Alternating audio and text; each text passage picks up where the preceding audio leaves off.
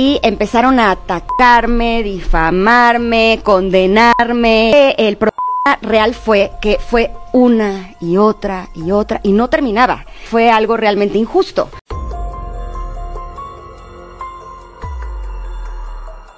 Ingrid Coronado supuestamente todavía tenía la esperanza de que TV Azteca la tomara en cuenta, pero al sucederá. La guapa conductora no tendrá más remedio que seguir escribiendo libros de superación personal. Recientemente se anunció lo que es la mayoría de las personas que participarán en el elenco de la nueva temporada de la Academia, pero es importante mencionar que hasta el día de hoy no han anunciado quién será su conductor o conductora principal. Muchos llegamos a pensar que ese lugar se lo darían definitivamente a Ingrid Coronado, pero al parecer no es así. Ingrid Coronado reveló recientemente a través de una entrevista que ningún representante o ejecutivo de TV Azteca la ha contactado para participar en la academia, por lo que definitivamente descartamos que ella vaya a participar en esta nueva edición. Además el programa está por estrenarse ya el próximo mes, falta muy poco, aunque tal vez de última hora la inviten. Debido a este tiempo libre que va a tener, Ingrid dio a conocer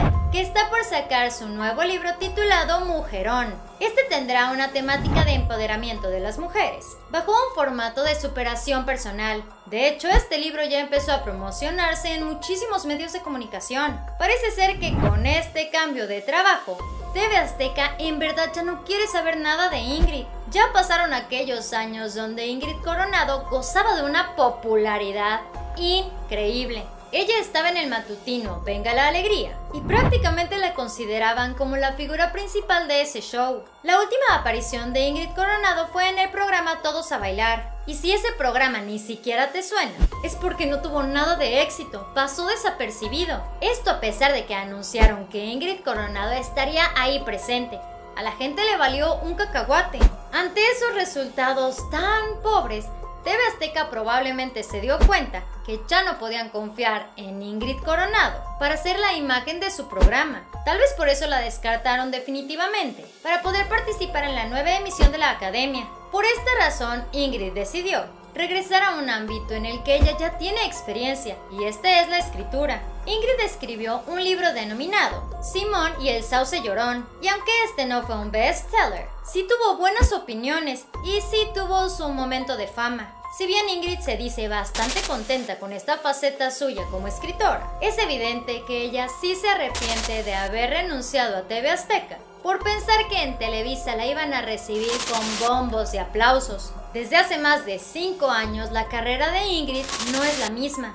Su popularidad se vino abajo, a pesar de que la veíamos 5 días a la semana. Ingrid se tardó bastante en regresar a la televisora de la Justo, por eso mismo las personas se olvidaron de ella. Y ahorita su nombre apenas si resuena. Muy lejos quedaron aquellos tiempos donde consideraban a Ingrid Coronado como la Andrea Legarreta pero de TV Azteca. Estaban casi a la par, pero tras sus malas decisiones, ahora Ingrid deberá refugiarse en su faceta como escritora y nada más. Al menos que al final de cuentas TV Azteca se dé cuenta que no tienen otra opción más que contratar a Ingrid como conductora de la academia. Eso sí, ellos deberán de saber que corren con la posibilidad de un muy bajo nivel de rating, no solamente por el programa en sí, sino también por la presencia de Coronado. Este fue el Muro de la Fama. Dale like a este video, suscríbete y síguenos en Facebook. Pero antes de que te vayas, ¿qué te parece si checas este siguiente video? Estoy segura que te va a encantar. Espero que tengas un excelente día. Nos vemos muy pronto. Bye.